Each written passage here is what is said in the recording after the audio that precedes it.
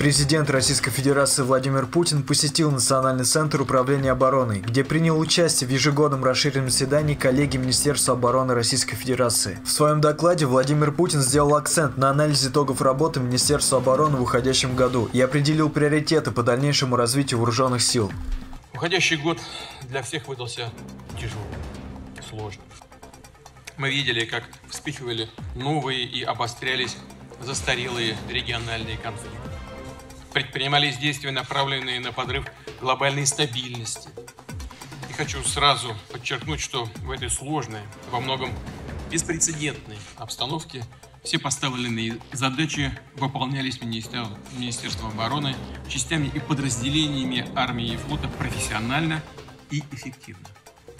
Также Владимир Путин заявил, что российские миротворцы стали гарантией безопасности в Нагорном Карабахе. Они рискуют своей жизнью для возвращения мирной жизни в этот регион. С 10 ноября российские миротворцы приступили к выполнению сложнейшей миссии в Нагорном Карабахе. Их присутствие стало гарантией соблюдения договоренности о прекращении боевых действий. Они многое делают для улучшения гуманитарной ситуации и помощи беженцам, для разминирования территории и восстановления социальной инфраструктуры, для сбережения культурных, исторических, религиозных памятников. Рискуют собой, к сожалению, без потерь. Рискуют своей жизнью, чтобы на эту землю вернулась мирная жизнь.